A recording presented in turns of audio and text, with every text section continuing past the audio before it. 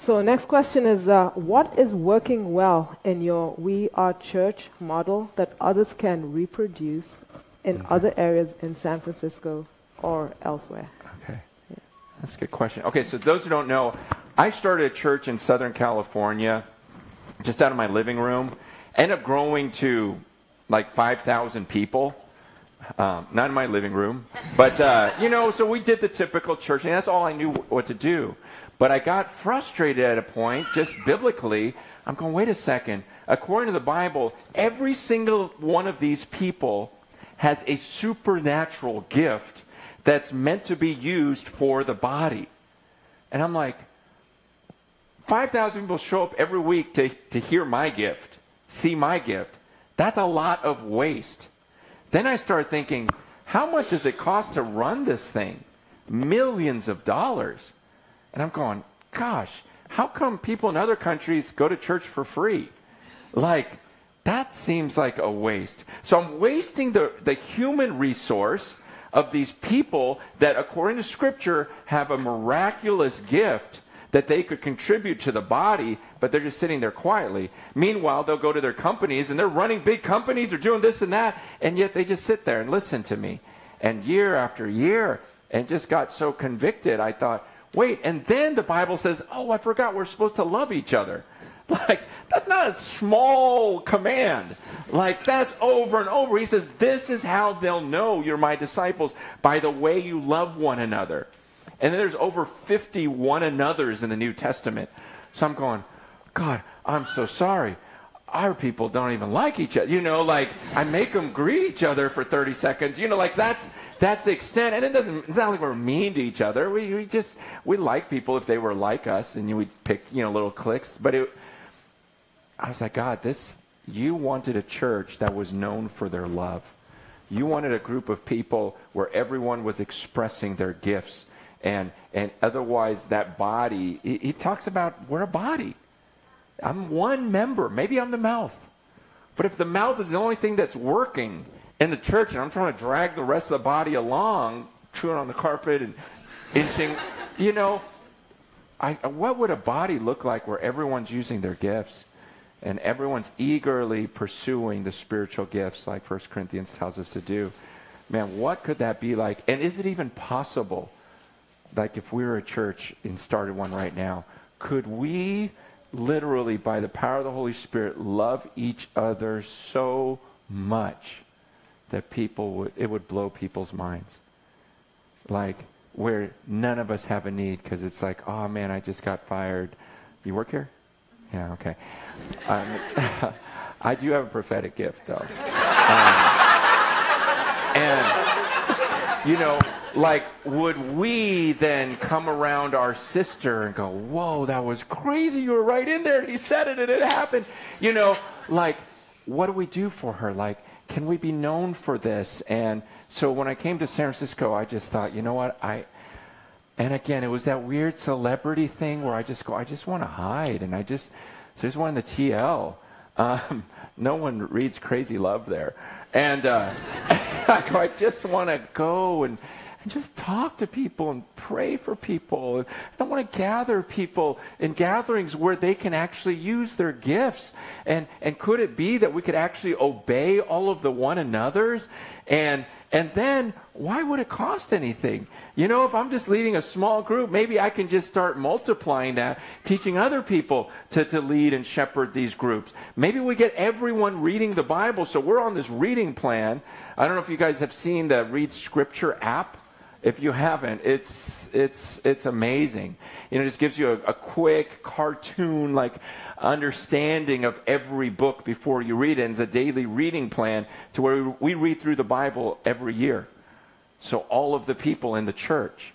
I mean, we've got guys coming off the streets, out of prison, to doctors and people that work here or, or Google, and everyone's on these same reading plans, and everyone's in these these homes, and so it costs nothing. We have like 30 pastors now that all do it for free, and uh, and then then we have like uh, we send them out in twos, and they're like in.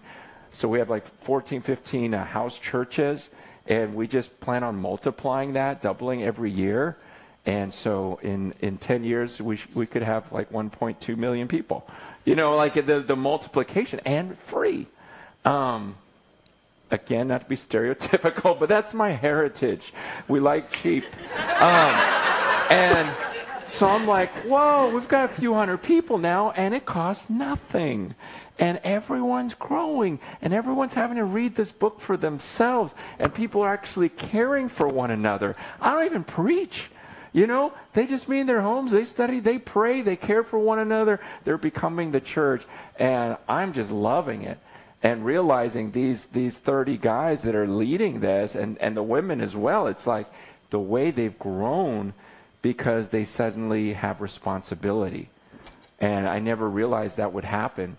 You see, it's just like those of us when we first brought our first kid home from the hospital, it's like the fear, the absolute fear, like, what do I do with it? Like, I, how do you keep it alive? What do you, you know, serious? I mean, that, all that went through my mind. Like, so the nurse isn't coming home. Like, literally, honey, it's you and me. We got to keep this alive. Like, we've got to, like, it's, it's an, it's, it's nightmarish in a way.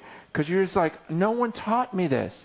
I got to figure it out. But then you figure it out, you know? And you grow when you learn. And I'm seeing these guys going, hey, you're going to take care of these 10 people. How do I do that? You're going to help them study the word. You're going to help them counsel them through. And the way they rise up, you just figure it out. And so now these guys are like my best friends, you know, as we're all in this thing together versus one guy trying to teach everyone. Guess one guy put it like this. He goes, it's like being adopted rather than being in an orphanage. Um, you know, the church, the way I was doing it was like an orphanage. You know, here's just a bunch of kids with one leader.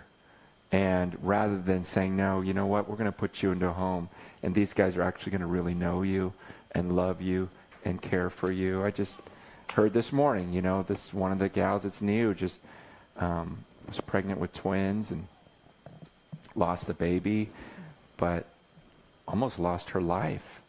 Just started hemorrhaging and the way she's only been around for two weeks. Her friends came in, the church came in, got her to the hospital, took the kid, the other kids, you know, watched them, and you guys, it's just like family, because it bugged me last story at, at, the old church. You know, when I had the uh, the big thing, I remember this kid from this gang that I baptized.